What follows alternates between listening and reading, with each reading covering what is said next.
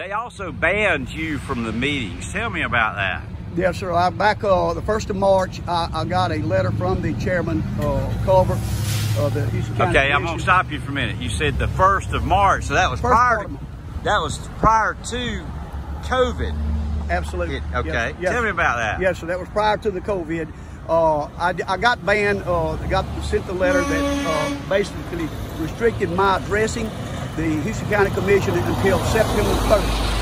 Um, I did not pursue it, I did not question it. I had other things that uh, were greater priority. However, this is an extreme great priority because it's uh, without a doubt uh, invading and, obstructing my First Amendment uh, constitutional rights of freedom and freedom.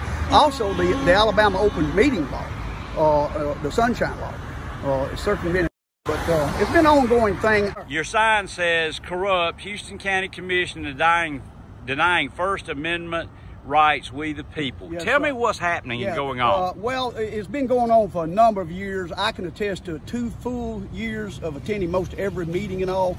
And our chairman and the commission, uh, they do everything they can to deny citizens of Houston County to participate in open meetings. How do they deny? They deny, first of all, they're denying uh, for the last month or two, uh, last, I know four meetings denying the citizens to attend uh, meetings that have been sanctioned by the governor and by the State Department of, of uh, Health where uh, it's open per the guidelines of COVID virus, it's open to the public. They've been denying us to attend the meetings, period. Yes, sir. Mr. Trotter, you said you're 73 years old. Yes, sir. And they have banned you from coming to the commission meeting saying that you were causing disruption. Yes, sir. Have you ever been arrested?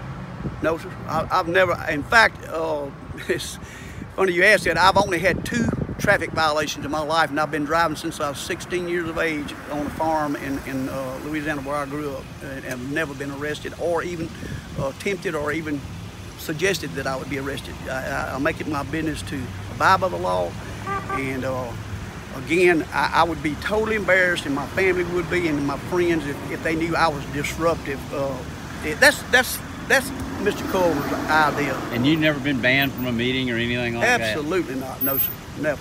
Okay. Thank you, sir. Yes, sir. All right. They, you got a letter in the first of March. They stopped you from going to commission meeting. Did they say why that you were stopped? Yes, sir. They, uh, Mr. Culver tried tried to um, infer that I was uh, breaking decorum, uh, interruption number of times in the meetings and all. And I have witnesses that have recordings of every tape, as they should have by law. But you that, have personal. Yes, sir. I have recordings that, that will attest, and I have eyewitnesses, very few, uh, uh, sad to say, but that will attest that I've never broken decorum, never have uh, interrupted a meeting, and when I was asked to sit down, I sat down.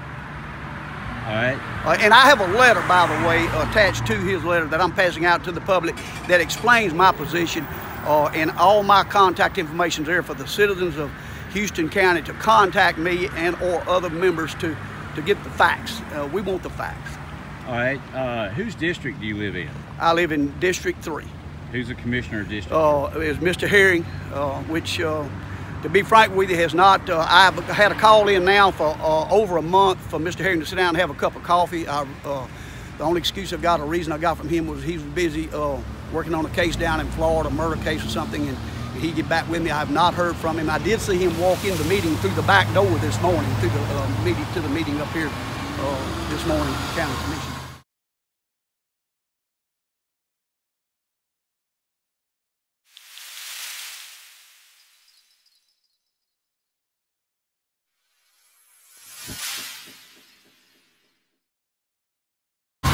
Did he look at you or anything? No, he when he came by in the truck, he waved and smiled big at me. When he came by in the truck by the light here, he went and parked in that lot over there. And as he was walking across here, I observed him to see if he was going to go in the front door or the back door.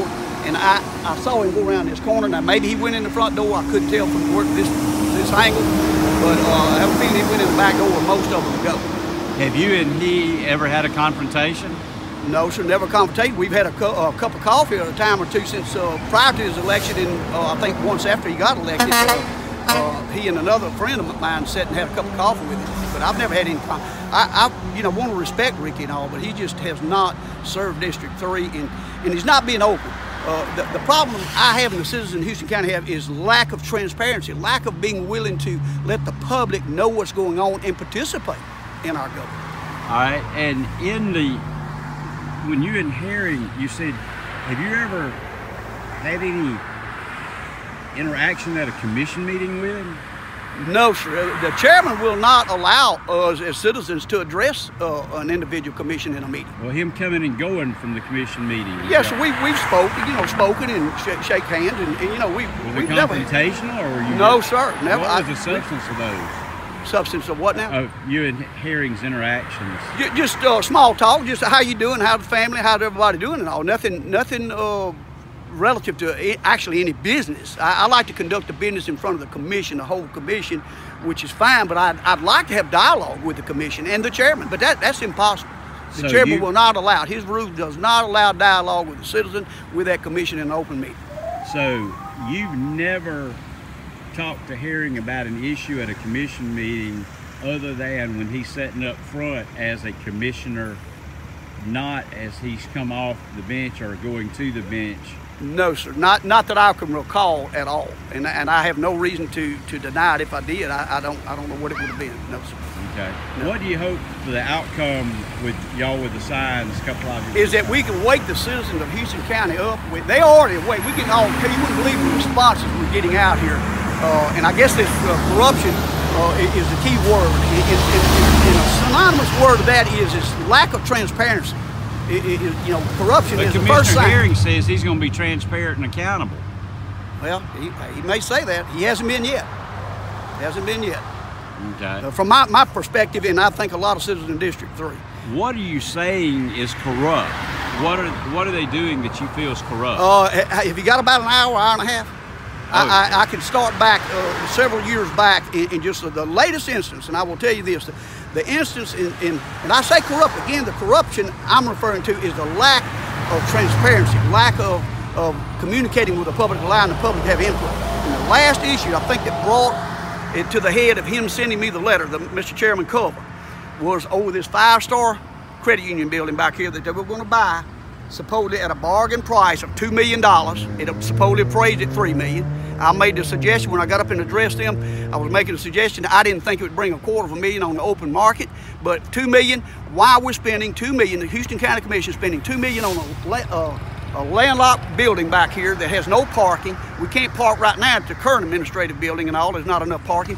We own 23 acres out on the east side of town called the Houston County uh, Farm Center. Farm Center, excuse me, yeah, Houston County Farm Center, that's been vacant. We own it. The citizens own it. It's been vacant, I understand, 15 or 20 years with acres of asphalt parking, buildings that could be renovated. $2 million would go a long ways in renovating a few of those buildings out there to put our sheriff's department, which I think he would lots rather be out there in a nice building out there somewhere than downtown here. And that's what they supposedly bought the five-star uh, credit union building for, was to put the sheriff's department in, which is ridiculous.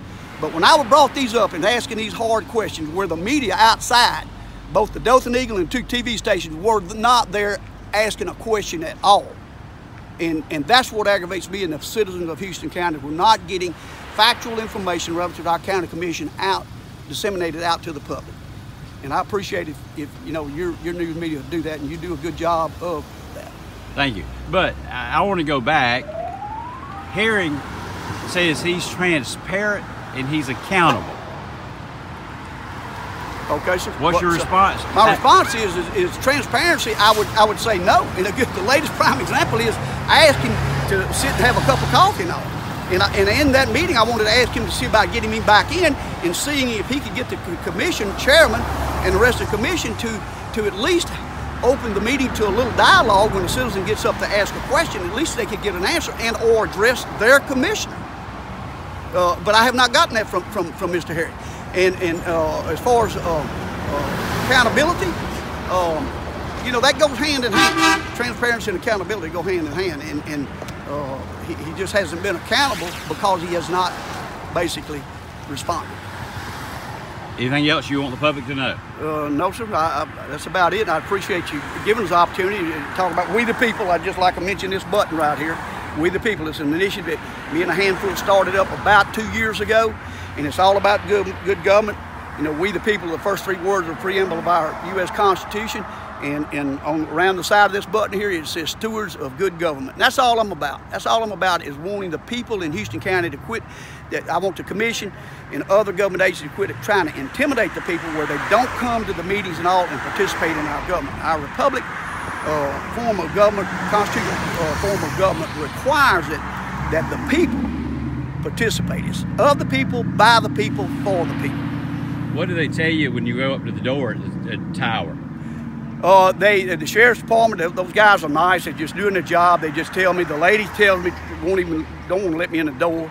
Uh, she's an employee, obviously, of the uh, of the clerk, of, not clerk of court, of the uh, probate judge office. All those employees, they meet people at the door and ask them what their business is in the building and all. And I ask them, you know, I'd like to go to the third floor to commission meeting, or either the sixth floor to the office. They won't even let me go to the sixth floor to the office, uh, as of about three weeks ago.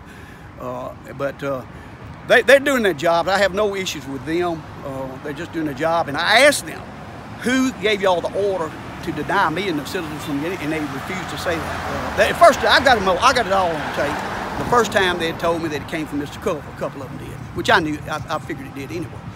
Uh, but I think they were told since then not to acknowledge where it came from. But it's basically lips, lips uh, shut when, when I walk up to the door. What makes you interested in what they're doing? What makes me interested in what they're doing is that that the people need, the taxpayers need to know where their tax dollars are going. They need to have input. Citizens need to have put our government's design, constitutional government's design for the, not just to go to the polls and elect somebody to represent us, but to participate in the government. And that's why we have the open meetings law, the Sunshine Law in Alabama and all other states, uh, is to be able to participate and, and give our input uh, on issues, current issues that come up uh, with the commission and, and other, whether it's a school board or whatever, what have you. It's, that's what my mission is, to, to be able to, to get the people in Houston County. And I'm 73 years of age and I lived in Louisiana and was served on the public school board over there for 11 years. I've never seen such uh, lack of transparency and, and will to allow the people to participate in our government as I have here in Houston County, particularly in the last two years.